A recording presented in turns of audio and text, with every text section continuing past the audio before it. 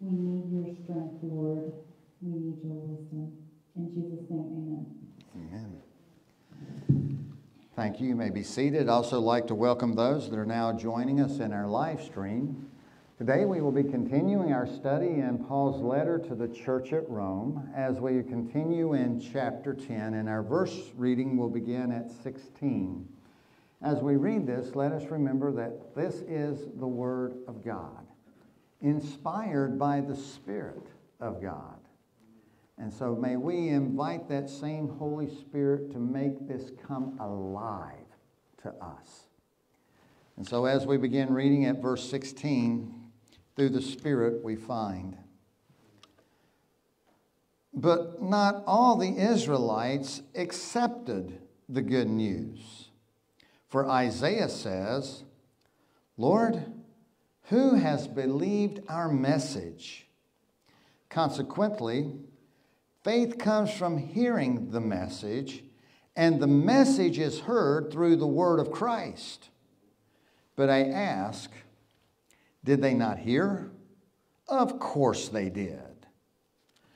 Their voice has gone out into all the earth, their words to the end of the world. Again, I ask, did Israel not understand? First, Moses says, I will make you envious by those who are not a nation.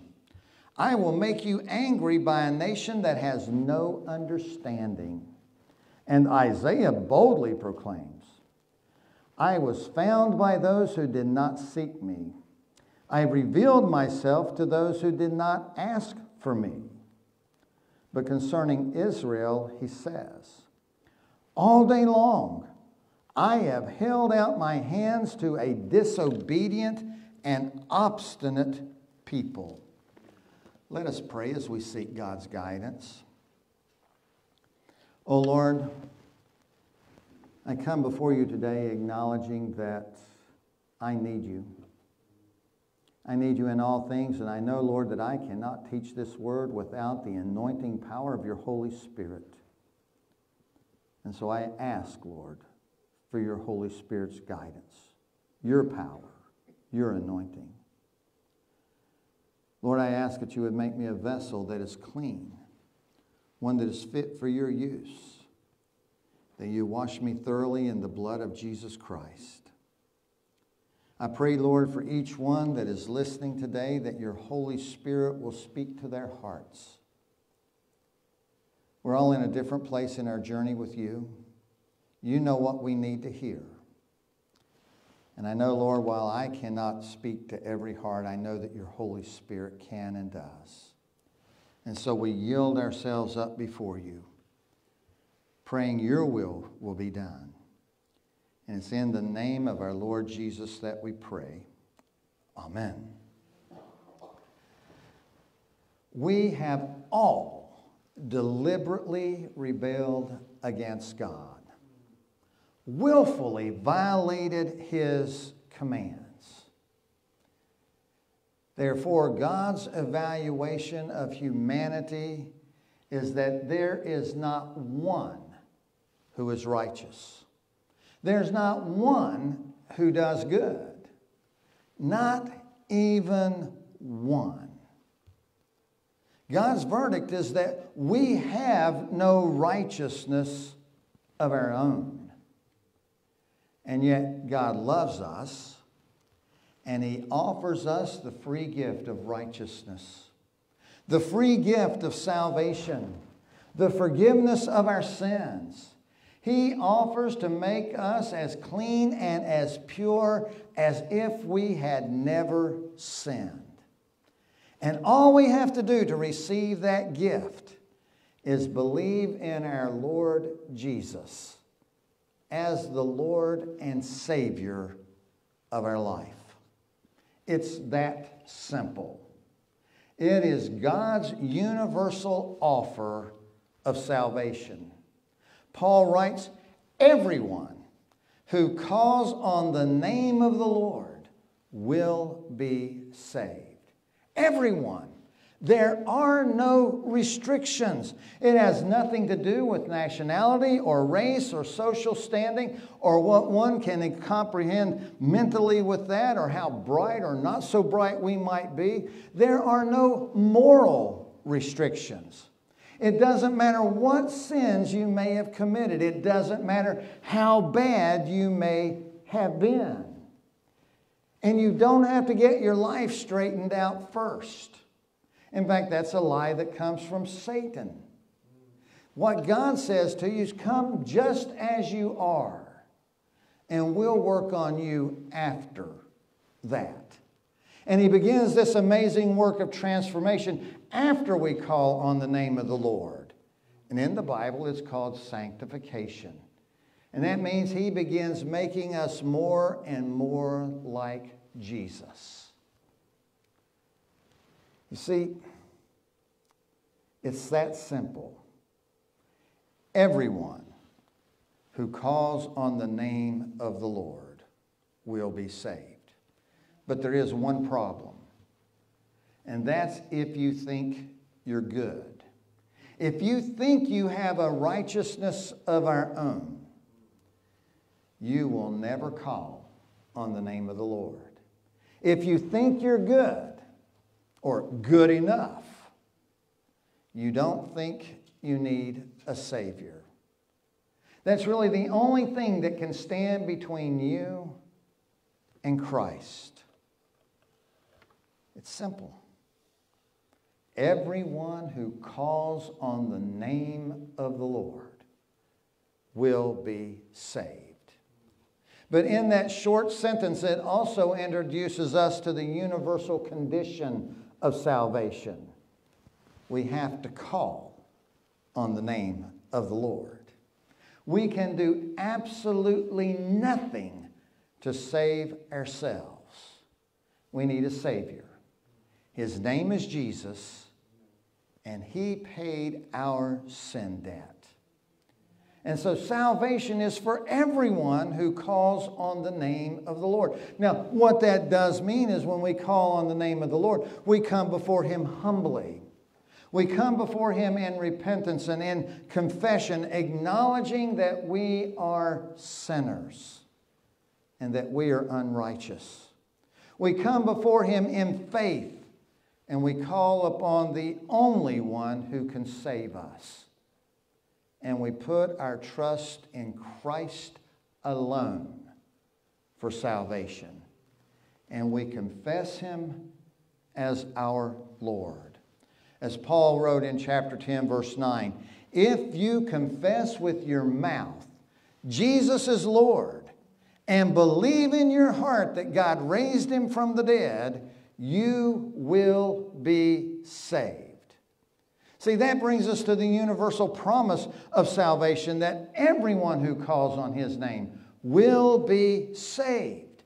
The moment we commit our life to Christ, he gives us this unfailing promise of salvation. And he also gives us the promise that anyone who trusts in him will never be put to shame. That means God is never going to bring your past up. He's never going to throw it in your face. Satan will, others might, but God doesn't. You'll never be put to shame in this life nor in the judgment to come. When you stand before God in the judgment, you will stand there confident, not in yourself but as a redeemed, blood bought child of God. One whose sins have been covered by the blood of Jesus, and you are standing there clothed in the very righteousness of Christ. Calling on the name of the Lord is so simple. And yet, there is this complex process that is behind it. Calling on the name of the Lord is simply the final step in that process. But in order to call on the name of the Lord, we have to believe in Him. Now, believing in Him has nothing to do with the emotions. Now, that's not to say that some people don't experience emotions. Some people experience a flood of emotions. Some people, when they come to know Jesus Christ personally, they feel the entire weight of the burden of their sin and their guilt lifted off of them, and they feel freer than they've ever felt in their life, and they are flooded with emotions. Others feel like for the first time in their life they've truly been loved. And so they're filled with a flood of emotions in that. And others don't feel anything. And it's not that one is right and one is wrong, it's just that we're all different. We respond to things differently. It's still the same promise. It has nothing to do with the emotions, but if you believe in the name of Jesus, then the mind has to be engaged. Emotions may not be, but the mind has to be. It's when you hear that message of Christ and what He has done for you, and now you understand it personally in your life. And not only do you understand it, you believe it. You believe the message of Christ is true. You believe that Jesus is God incarnate, that He came to this earth, that He died on the cross to pay your sin debt, that He rose again from the dead but it's also more than an intellectual affirmation of the truth. It is possible to have it in your head and still not have it in your heart. See, in order to call upon the name of the Lord means that we are also committed to that truth. I believe the truth and I am committed to it. And if I'm committed to truth, I act upon it. And that means I am committed to the Lordship of Jesus Christ in my life. Just believing that something is true changes nothing. I know I've shared this with you before, but I can believe that eating healthy is good for me, but until I am committed to that, it doesn't make any difference whatsoever in my life. And the same thing's true about Jesus. I can believe everything the gospel says about Jesus Christ, but until I am committed to that, nothing changes. And the moment I'm committed to it, I am saved. It's that simple. But in order to believe, you have to hear. Behind the belief is the message. And it is the message of Christ. The word of Christ has to be proclaimed. It's all about Jesus. It's not about me, it's about Jesus. And behind the message is the messenger. Someone has to bring the message, it has to be proclaimed. And behind the one who is the messenger is the one who sends, and that's God. It's His message. It's His offer of salvation. And He is the one who is not willing that anyone should perish. See, God has made it so simple for us. All we have to do is call on the name of the Lord, and yet there's this complex process that is going on behind it. God's taking care of all of that. And I think it's important for us to understand the process because that then helps us to understand just how much God loves us, how much He wants you to be redeemed and a part of His kingdom, how much He has done everything just to reach a sinner like me. Now, not only does He offer us the gift of salvation in that, but God then invites us to be a part of the process to where we become the messengers that He is sending. In fact, not only does He invite us, He commands us to be a part of the process. Go and make disciples. And I know that scares almost all of us. How do I? I don't know what to say. I got a solution to that. Work on what to say. But here's where you start. I've shared this with you so many times. To be a witness is to share your story. If you've never done this, I want to invite you to do this. And if you've done it, I want to invite you to reread it. But you need to write out your faith story.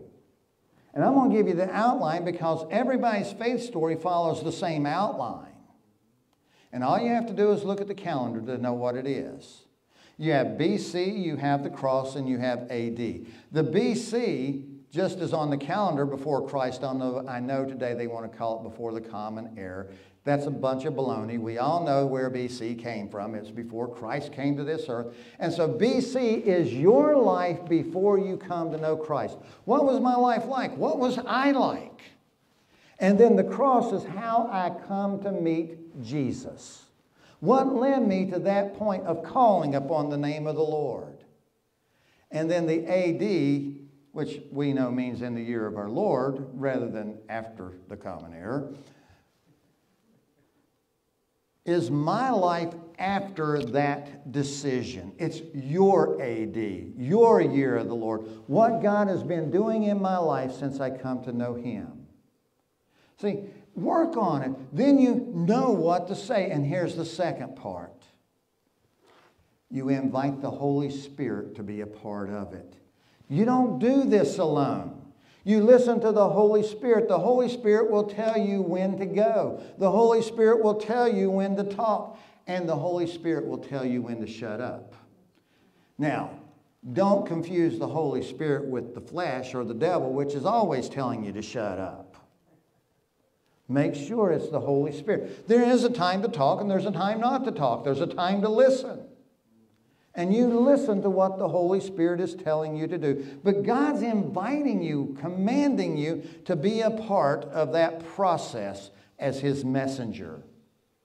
And so, once we know the love and the mercy and the grace of God and everything that He has done to bring salvation into our lives, it brings us to the mystery of unbelief. It's a mystery because unbelief just simply doesn't make sense. We find this strange reaction to the message, the gospel of Christ, when it is proclaimed.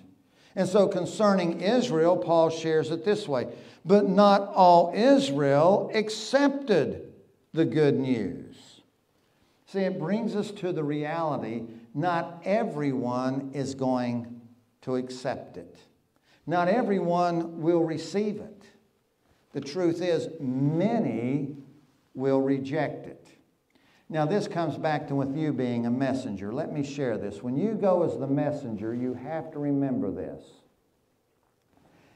They're not rejecting you. You're not offering yourself as a means of salvation. They are rejecting Jesus.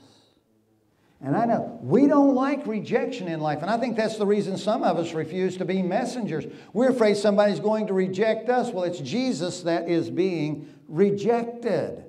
And so that raises the question why would anyone reject Jesus?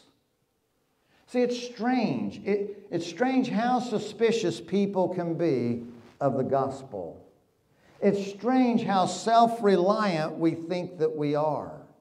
It's strange why anyone would reject good news of salvation. And yet, Isaiah says that was his experience as Paul quotes him. For Isaiah says, Lord, who has believed our message?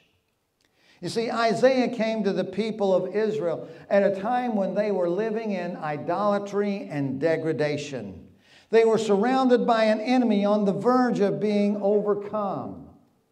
And God gives Isaiah a message. He's a messenger, and he sends him to proclaim the good news about a coming Messiah whose life and death would redeem them from their sins. And after he proclaims the message, he's left asking, Who has believed our message?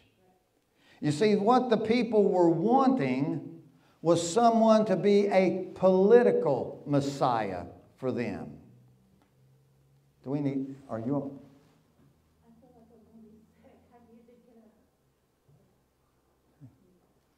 And let's just lift Julia up in prayer right now, and uh, Denise and Rick as they're helping her. Lord, we come before you right now, and we just want to lift Julia up before your throne. You know exactly what is going on with her. We pray, Lord, right now that your Holy Spirit will just flood her with your power, your strength, and your presence, Lord. We pray for your healing. You know exactly what's going on here and what she needs, Lord. And so we just want to commit her into your care right now. Lord, you take care of her. You are the great physician, and so we give her up to you right now, Lord. And it's in the name of our Lord Jesus Christ that we ask this. Amen.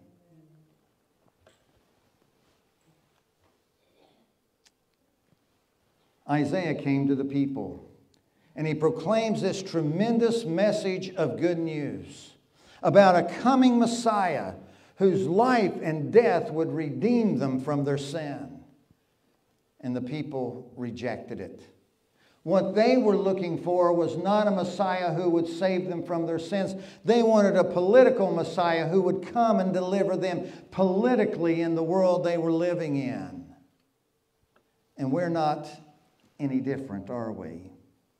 Here we are in an election cycle, although we're in a constant election cycle anymore.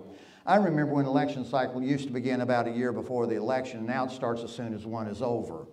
New president's not even sworn in, or the former president's not sworn in, and we just go right back into it. But here we are in an election year, let's put it that way. And what I find is that a lot of people are looking for a Messiah. They're looking for someone to save them. Read my lips, no politician is going to be your Messiah. They're not going to save you, and they're not going to save a nation.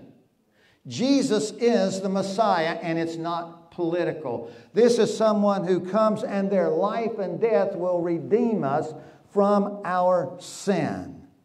And so when Jesus came, the people of Israel rejected him, just as many people do today.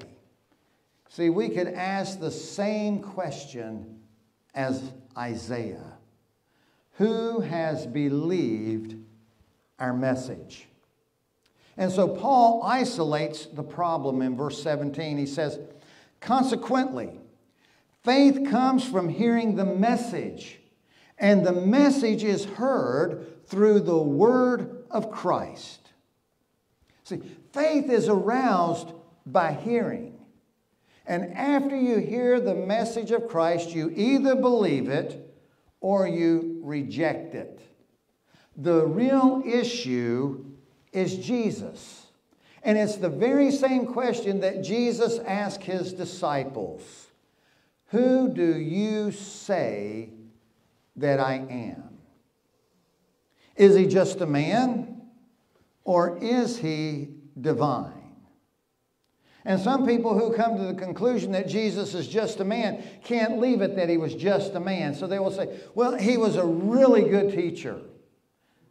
Or that Jesus was a great prophet. That he was a good man. But that really makes no sense whatsoever. Because Jesus claimed to be divine, he claimed to be God. They crucified him because he claimed to be God. You see, if Jesus isn't divine, then he was a liar or a lunatic because he claimed to be someone that he would not have been. And if someone does that, that you can't trust them. I mean, we see that we're in politics again. Let's bring it up again. There have been politicians who tell you they are something they are not. One of them I've heard more than once is when they tell you about their time in the military and how they served and all that they did, and then lo and behold, if somehow you don't find out they were never even in the military or they never were where they were at. They've lied. How can you ever believe someone that says that? And so Jesus is not just a mere man. If he's a mere man, he's a liar, or he was self deceived, a lunatic who thought he was somebody that he was not. And so if you think Jesus is a mere man, you've got to let the other stuff go. But if he's more than a man, then Jesus is divine. He is Lord. See, this is the whole issue that people have to deal with. Is Jesus who he says he is? Now, linked to the issue of Jesus is the question do you need a Savior? Do you know that you're a sinner and that you need someone that is going to save you from your sin? And if you do, Jesus is the only answer.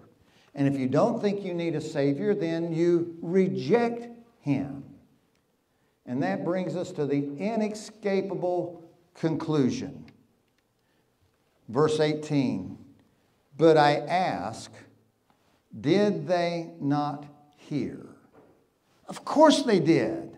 And then, as proof, Paul quotes from Psalm 19, verse 4, when he says, Their voice has gone out into all the earth, their words to the ends of the world. Now, who's their voice?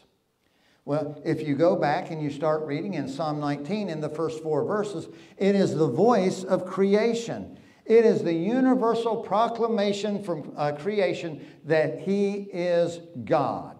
There is a creator. It's the same message that Paul brought up in Romans chapter 1, verses 19 and 20, when he said, Because of creation's witness, that we are left without excuse.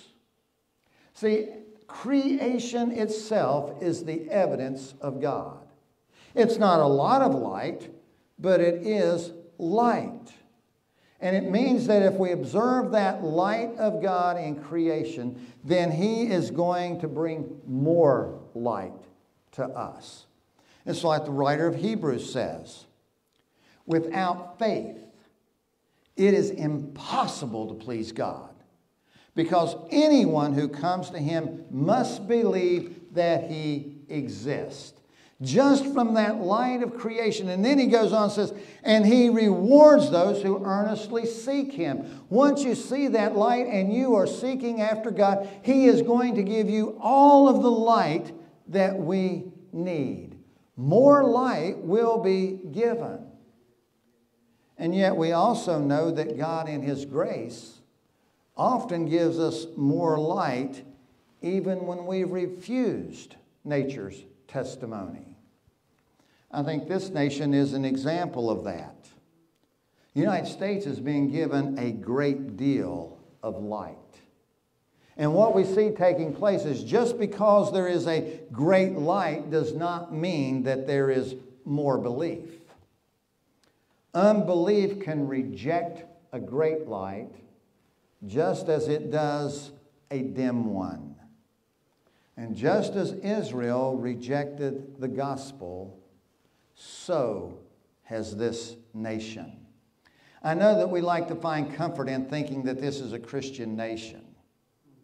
And I know over 50% of the people in this country still tell you that they're Christians. And here it is Sunday morning, and I just have a simple question. Then where are they? They're not even thinking about God. That's a strange kind of Christianity. One that doesn't fulfill his command to not forsake assembling together. I think a lot of people have fooled themselves. Oh, they have it all up here. They believe that Jesus is who he says he is. Or they like some of the things that Jesus said, and I know people that way too. They like a lot of things that Jesus said. They don't like some other things that he said. But the things they like, and they think if they like it, that makes them a believer. No, it doesn't. It means, yeah, I may have something in my head, but I've never made a commitment. Because commitment changes everything. And so, just like Israel, we are stubborn in our unbelief. And yet, God, in His love, uses another principle to arouse belief in some. It's the principle of jealousy. And again, Paul, using the people of Israel, says in verse 19 through 20 Again, I ask, did Israel not understand? First, Moses says, I will make you envious by those who are not a nation. I will make you angry by a nation that has no understanding. And Isaiah boldly proclaims, I was found by those who did not seek me. I revealed myself to those who did not ask for me. Jealousy is a part of our fallen nature. And God will use that as well. All we need to do to understand jealousy is to observe a child. You give them a toy, and they'll play with that toy until they get tired of it, and then they'll put it aside and completely forget about it until another child comes along and picks it up. And then they want it back. That's exactly how jealousy works. And so God will use that principle as well. He says, Moses says that God will use a people with a far less understanding. You see, the Jewish people were given a great deal of light and understanding about God, something no other nation had had given to them. They were given the law, they were given the prophets, they were given the temple worship, they were given the sacrificial system, they were given all of this light. And after they rejected the Messiah, God sent the message to the Gentiles, those of us who were living in darkness. Now, today there's also another comparison that comes to that because it's one of the groups that seems to reject the gospel, not all of them, but as a whole, most do, and that is the educated elites. Now, listen to me. I have nothing against education, but I do have something against academic arrogance. And if you think you're an elite, I'm not the only one that has something against that. God has some things to say about pride. And as a whole, they have re- rejected the message of the gospel. It's not that they don't know the message, it's that they have rejected the gospel, and God is sending his message to those that they feel are below them. I read a statement one time that said that uh, it is possible to be educated beyond your intelligence. I've known some people educated beyond their intelligence. I've known some who've gone into ministry that were educated beyond their intelligence and far beyond what their faith could handle. And so he says that he will send his messenger and that will be received by those with lesser understanding. Isn't it amazing? A poor, uneducated person can have more knowledge of God than the wisest of the educated. But he also said that Isaiah says God will use a people less motivated. The Jewish people were zealous for God. The Gentiles were ignorant of the one true living God. They weren't even thinking about him. And God sent his message to the Gentiles that through Christ we might experience the love and the grace and the riches of God, and all to arouse jealousy among those who had been given a great light. And then he says, God patiently continues to reach out. Verse 21 All day long, I have held out my hands to a disobedient and obstinate people. Now you got to remember, this is God speaking. One day is as a thousand years, and a thousand years is a day. For a long time, God has been holding out his hand to a disobedient and obstinate people. In fact, I think that is the very reason that Jesus Christ has not yet returned. Biblically, everything that needs to take place is happening. You can see how the stage is being set. And I think that the reason Jesus has not yet returned is because God is holding out his hand to a rebellious and disobedient and an obstinate people. But only God knows how long He'll hold it out. It won't be forever. There will come a day when that offer will be removed. See, unbelief, it's a mystery. Doesn't make sense. It's irrational. It's not logical. And God has done everything so that we might be saved. You know, in order to go into eternity without Christ, you have to resist God. There'll not be one person separated from Christ that has not resisted him. Or another way of stating that is there'll not be one person in hell that was not disobedient and obstinate. Every one of them. But the good news is that everyone who calls on the name of the Lord will be saved. Let's pray. Lord, we thank you so much for your word. We ask that you will just take it and use it in our hearts and in our lives. Lord, not just at the moment, but as we depart, as we leave here today, that you will just continue working with what it is you want us to hear from you. And it's in the name of our Lord Jesus Christ that we pray. Amen. This morning we will be sharing in communion together. If you've not yet received a communion packet, I would ask you just to slip up your hand and Cindy will see to it that you get one of those this morning.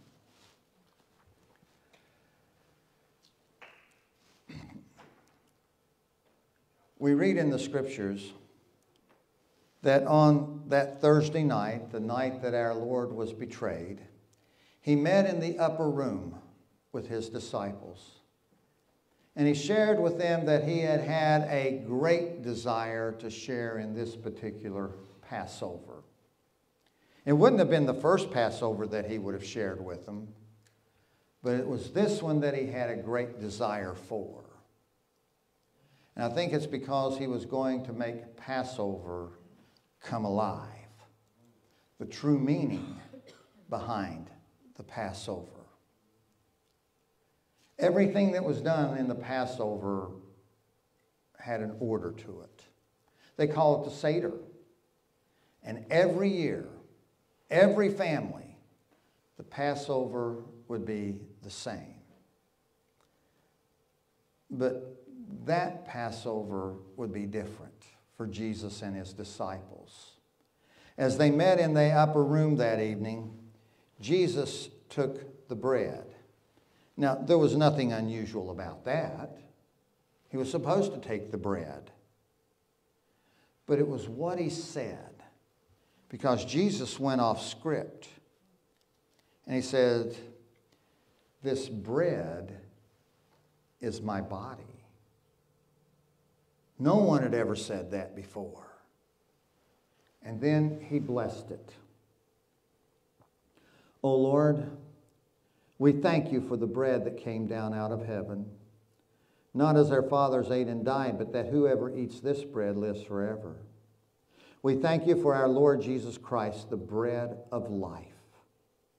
Amen. And then he broke it. After that, he took the cup. There were four cups that evening. It was probably the cup of redemption. And again, Jesus goes off script. And he says, This cup is the new covenant in my blood. And then he blessed it. O Lord, you teach us in your word that without the shedding of blood, there is no forgiveness. And yet, your word also tells us that it is impossible for the blood of bulls and goats to take away our sins. We thank you for the one that John identified as the Lamb of God who takes away the sins of the world. We thank you for the blood of our Lord Jesus Christ that was shed to cover over our sin debt. Amen. And then Jesus invited his disciples to partake. And so, if you would take your communion packet, I would invite you to peel this cellophane back for the bread.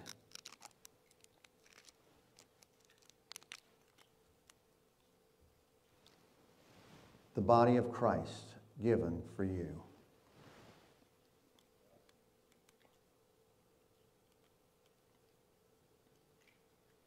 And now, if you would peel the foil back And as always, you'll want to do that carefully and gently.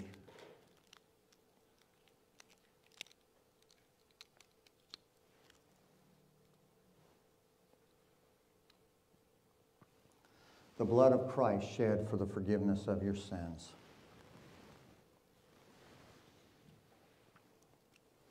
Oh Lord, we thank you for our Lord Jesus Christ, who gave himself to be the sacrifice for our sins. We thank you for the gift of salvation and that all who call on the name of the Lord will be saved. Amen. I invite you to stand as we sing our closing song.